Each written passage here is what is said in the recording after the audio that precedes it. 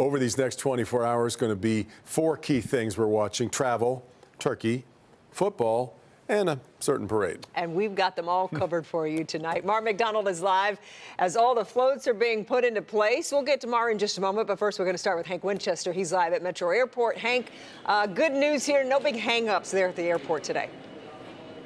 No, great news, Kimberly. In fact, take a live look behind me here. We're in the McNamara terminal here at DTW, and you can see it is not crowded at all. Let me uh, have you take a live look at the main security checkpoint. You can see a few people in line, but again, this is not an issue. It's actually pretty surprising that things are this smooth.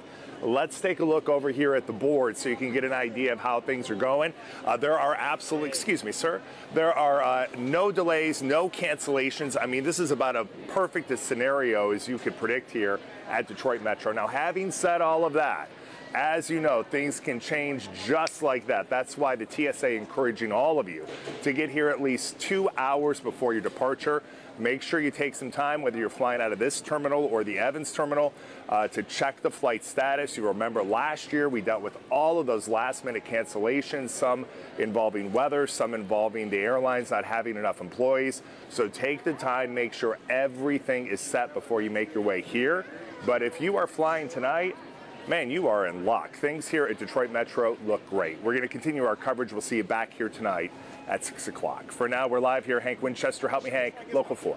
Great to hear. All right, Hank from Metro, let's uh, head east and move downtown. Work well underway for the main event. We're talking about America's Thanksgiving Parade. It's going to make its way down Woodward Avenue, and we can't wait. Mara MacDonald is live tonight as a rollout of all these floats well underway. Mara.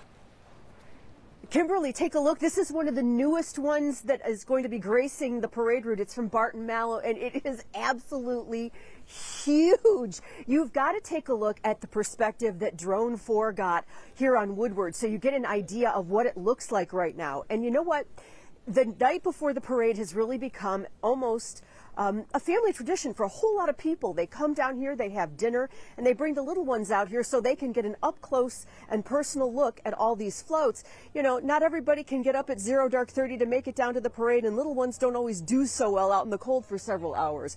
This way they can come out, they can take a look at these floats, they can see the magic up close and personal. And as somebody who's been on this parade route um, in some really bad weather. We're talking sleet, snow, and hail. It is a beautiful night to come out and take a look at these floats. We're live in Midtown right now. I'm Mara MacDonald. Local 4. Absolutely. Okay, Mara, thank you. And our coverage of America's Thanksgiving Parade gets underway at 6 tomorrow morning. So stay with us all morning leading up to the parade that starts at 9.